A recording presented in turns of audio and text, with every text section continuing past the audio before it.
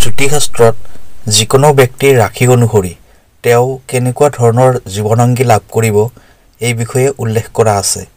যিকোনো ব্যক্তিৰ কুণ্ডলীৰ সপ্তম ভাৱৰ পৰা জানিব পাৰি যে তেওঁ কেনেকুৱা ধৰণৰ জীৱনংগী লাভ কৰিব।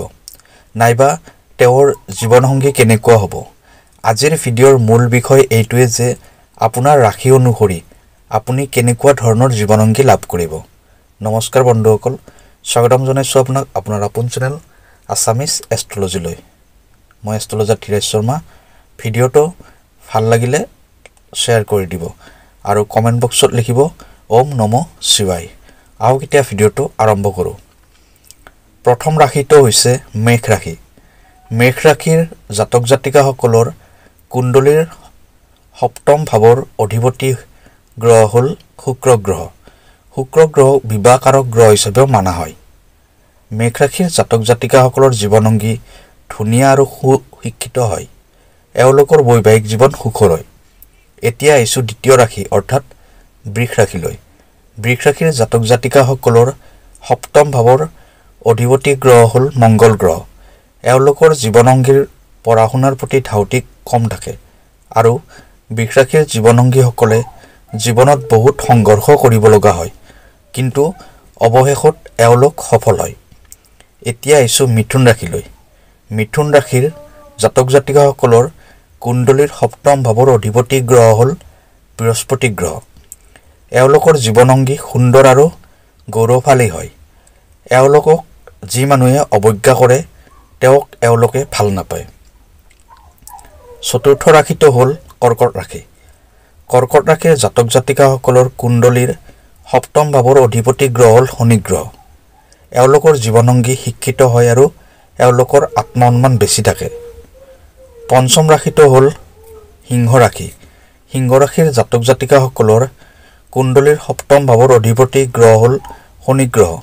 এওঁলোকৰ জীৱনংগী পৰিশ্ৰমী হয় আৰু বয়োজ্যেষ্ঠসকলক সন্মান কৰে তথা আনক ভাল কৰাৰ ওপৰত বিশ্বাস ৰাখে।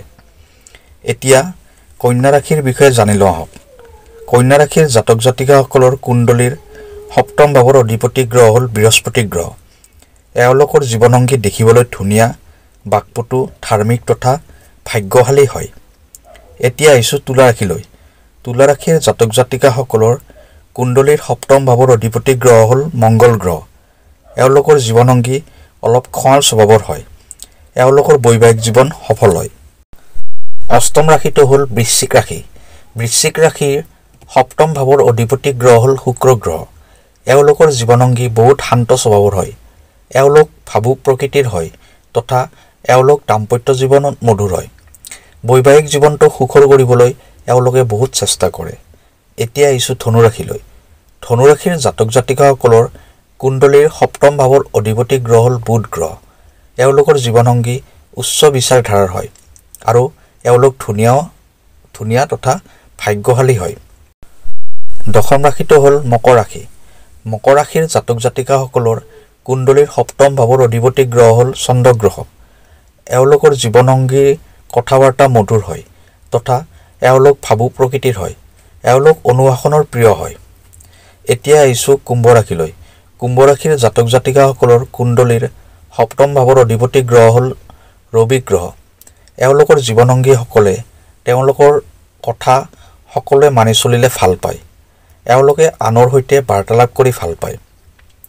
দ্বাদশ ৰাশিটো হ'ল মীন ৰাশি। মীন ৰাশিৰ জাতক জাতিকাসকলৰ কুণ্ডলীৰ সপ্তম ভাৱৰ অধিপতি গ্ৰহ হ'ল বুধ গ্ৰহ। এওঁলোকৰ জীৱনংগী দেখিবলৈ ধুনীয়া আৰু কথা কমকৈ কয়। এওঁলোকৰ অন্তৰত বহুত আশা আকাংক্ষা থাকে। এইখিনি আছিল আজিৰ ভিডিঅ' যদি আমাৰ ভিডিঅ'টো ভাল লাগিছে তেনেহ'লে লাইক শ্বেয়াৰ কৰি দিব। আমি আহিম আকৌ এটা নতুন ভিডিঅ'ত। তেতিয়ালৈ নমস্কাৰ।